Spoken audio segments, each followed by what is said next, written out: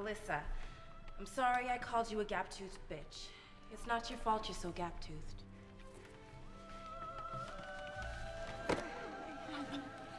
Gretchen, I'm sorry I laughed at you that time you got diarrhea at Barnes & Noble. And I'm sorry I told everyone about it. And I'm sorry for repeating it now.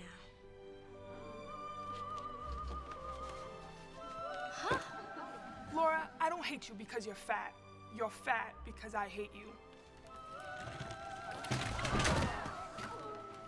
I just wish we could all get along like we used to in middle school. I wish that I could bake a cake made out of rainbows and smiles and we'd all eat it, be happy. She doesn't even go here. Do you even go to this school? No, I just have a lot of feelings. Okay, go home.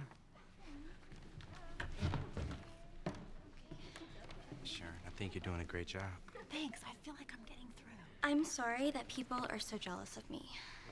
But I can't help it that I'm popular.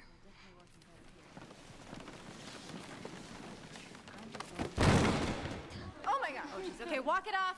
Walk it off. Okay, that hurt. They're okay. They're okay.